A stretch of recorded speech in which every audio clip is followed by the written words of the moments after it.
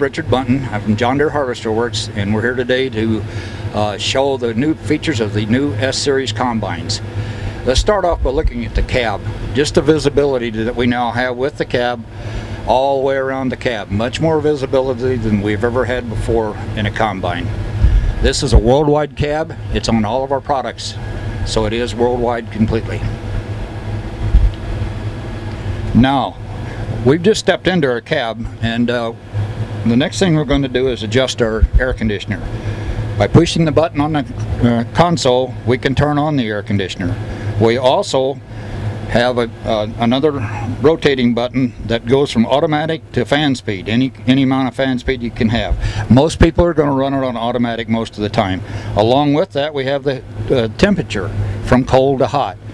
Take notice of the 23 of the display, armrest display, and you'll see when we do anything in that auto, we, bring up not only the inside temperature that we set it to, but also the out, ambient temperature outside. We also now have heated and also remote controlled mirrors.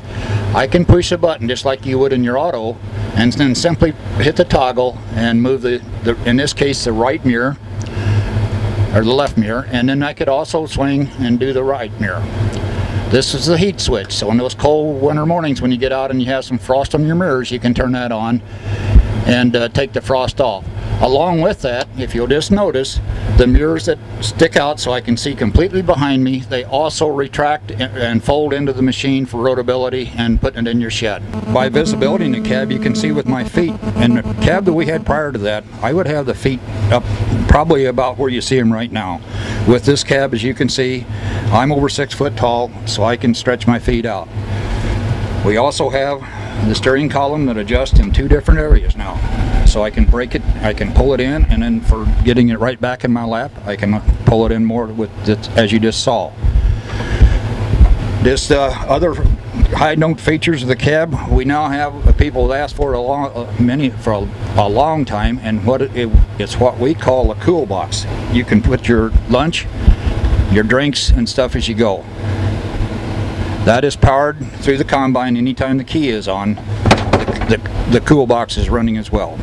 So you can do it all right here from the comfort of your cab and see everything that's going on with the machine and also do a lot of settings. Some of the major settings entered of course would be my concave clearance, fan speed, chaffer clearance or chaffer opening, sieve openings.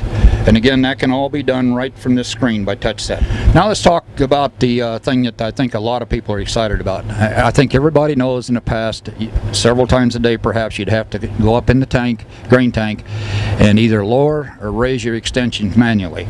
We do offer now as an option the folding unloading or the folding grain tank uh, extensions.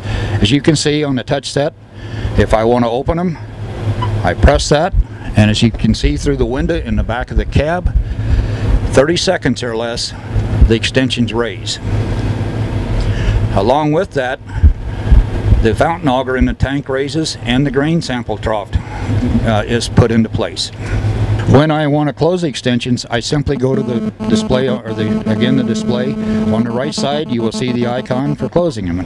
You push that, and they close automatically. Now, uh, you do have to note that the grain tank can't have, it has to be empty when I raise or lower the grain tank extensions. Another new feature with the uh, S-Series world cab, a worldwide cab design, is the, the added visibility. And we can point this out by looking at this yellow line that we have taped across the top of the windshield. That represents where the height would have been on the uh, combine prior to this or the door prior to this. As you can see we have quite a bit of distance above that now so we get away from where we had to bend down and look up and try to see where our unloading auger was in relationship to the grain cart. I'm going to swing the auger out and please notice as we swing it out the extra visibility we have of that. As that auger swings into position again just please note above the yellow line that you wouldn't have had that visibility with the prior cab. It's, it's a big improvement so I can see my cart. And again, I can just, from the comfort of the cab, I can swing that back.